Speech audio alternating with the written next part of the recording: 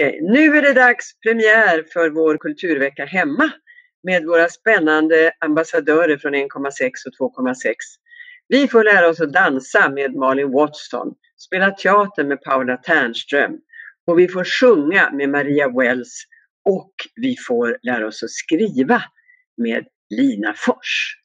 Passa på att boka kursen Kulturvecka hemma. Hej allihopa! Välkomna till Kulturveckan där jag kommer att lära er att dansa. Malin Watson, koreograf och proffsdansare är jag. Vi kommer att lära er dansa cha-cha, samba, rumba, paso doble, jive, salsa och disco. Så häng med, det kommer bli superkul!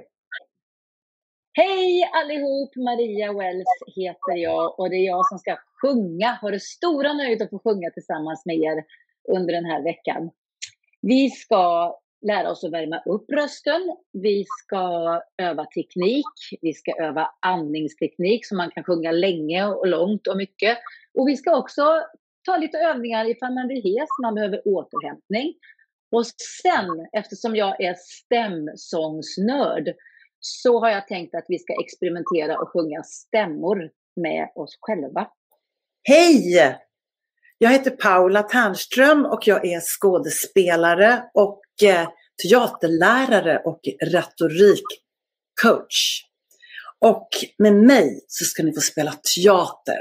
Ni ska få smaka på olika texter ur dramatiken. Ni ska få visa känslor, ni ska få träna på kroppsspråket och även göra lite röstövningar för att nå magstödet så att det hörs vad ni säger. Och det, det här med att spela teater, det är ju härligt. Det är nämligen så att man blir en lyckligare människa av att spela teater. Så har ni inte gjort det innan så ska ni verkligen passa på nu. Det ska bli så roligt! Vi mm. ses! Hej Lina Fors! Hej Alexandra! Nu är det dags för kulturvecka.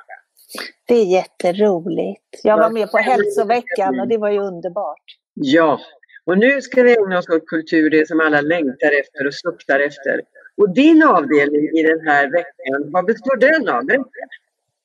Jo, men det är det här som jag saknade när jag gick på skrivarkurser. Det var ju frågan om behöver man vara ett självlärt dramaturgiskt geni för att skriva en berättelse? Vad det än är för berättelse. Du mm. kanske vill skriva, som jag just, gör just nu, eh, korta erotiska ljudnoveller. Eller du vill skriva om ditt liv, eller du vill skriva någonting till ett barn, eller du vill faktiskt skriva den stora romanen. Och då är ju frågan, hur bygger man en berättelse? Ja, då...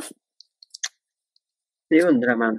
Ja, eller hur? Och då finns det faktiskt konkreta byggstenar. Och det råkar vara så att det finns sju konkreta byggstenar till fundamentet som jag tänkte att jag skulle dela ut en om dagen. Och börja med då eh, koncept. Ja. Nu ska vi inte avslöja mer. Det får du upptäcka i kursen. Okej. Okay. Tack Lina! Tack! Vi skriver snart. Det gör vi. Så passa på nu att eh, genast anmäla dig till Kulturveckan hemma. Mycket nöje och glädje!